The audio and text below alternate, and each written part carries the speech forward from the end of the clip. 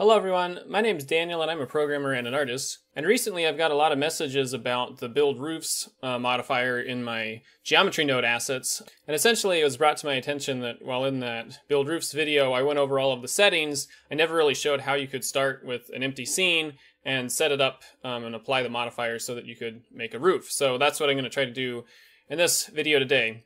And so let's start here with this plane. Um, this is essentially what the input mesh for the build roofs node should be, just a plane or a set of planes. Um, so for example, we could have two like this. That would be like the footprint of the roof. That's the input that the build roof uh, node or modifier expects. So then if we go to our modifiers here, um, one thing I want to mention before I start making the roof is just something I realized as I was doing this, which was that if you go to the add mo modifiers and you search for build roof, which is the new feature that was added in Blender 4.0, um, build roof won't show up.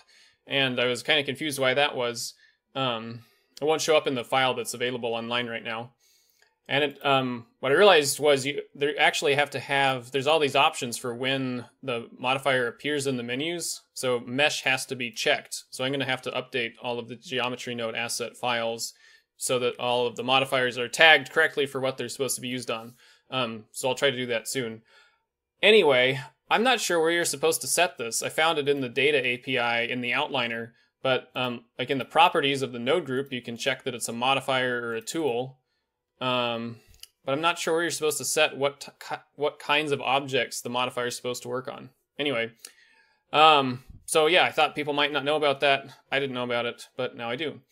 Anyway, so I want to update my geometry node assets so that they can be found from the search menu, but in the meantime, I guess you'll have to drag it in from the asset browser and drop it on the object, which was the old way of doing it. Um, that still works. Now by default, you get kind of a funny result, which is because it's looking for a ridge height vertex group. Um, if you turn that off, the result makes a little bit more sense. Or what might be a better way to do it is to actually make that ridge height vertex group go into edit mode and then just assign all of the vertices with like a 0.5 weight or something. And that way you can have the height be an attribute so you can have different parts of the roof be set to different heights by changing the value, which is like a percentage 0 to 100% of the height scale. Um, you can change that by assigning different weights to the vertex group. Anyway, so this is what we get as an initial result. Now it would be better if the roofs ran the opposite direction, and so we can do that by adding a second vertex group called ridge direction. Like so. And these can be named whatever you want. You just want to have an equivalent name set in the attribute field here.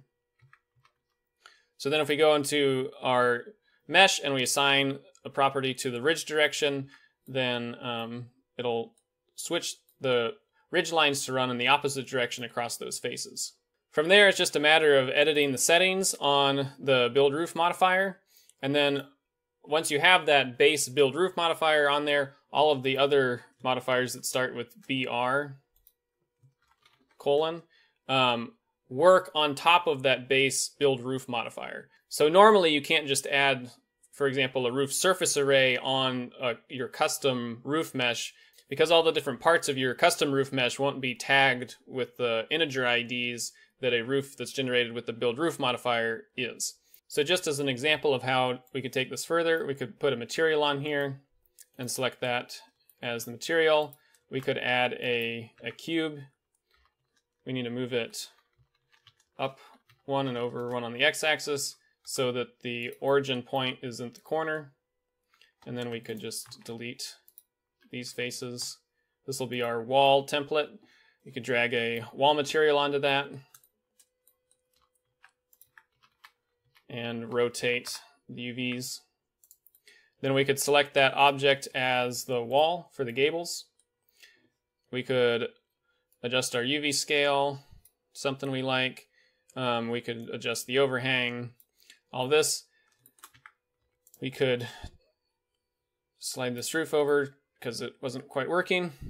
And then we could add, say, uh, the beams and choose to put those on the gables. And then we could edit this again, try to get everything to line up. Then we could go in, we could give it some more resolution, and we could change the shape like so. Um, Anyway, so hopefully that gives you an idea of how you can get started with it to where editing the settings on the modifiers produces a result that looks like a roof because um, I think I skipped over that somehow in the video where I showed all the settings. Um, hopefully that answers some of those questions, and if you have more, feel free to ask, obviously. And um, other than that, that's all I've got for this one. Thanks for watching.